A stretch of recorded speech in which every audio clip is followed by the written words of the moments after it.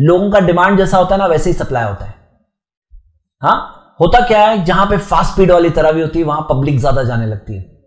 फिर जहाँ जहाँ के दूसरी जगह के ट्रस्टी क्या देखते बोले वो मस्जिद में फास्ट स्पीड वाले इमाम है तो वहाँ ज़्यादा पब्लिक जा रही है। फिर अपने इमाम को बोलते हैं, भाई साहब, तुम आप भी ज़्यादा फास्ट पढ़ाओ थोड़ा। फिर क्या होता है? पब्लिक डिमांड के हिसाब से इमामों की स्पीड भी बढ़ जाती है। अभी क्या होने लगा है ट्रेंड अभी ट्रेंड ये भी हुआ है, बाज जगहों पे थोड़ा कम पढ़ा करके, तरावी जल्दी खत्म कर दो। भाई, क्या मकसद है? तरावी इतमान वाली हो, मैं आपको बताऊँ ना रमदान आपको आउटस्टैंडिंग चाहिए ना। रमदान को बिल्कुल बेस्ट बनाने में बहुत बड़ी चीज़ तरावी है।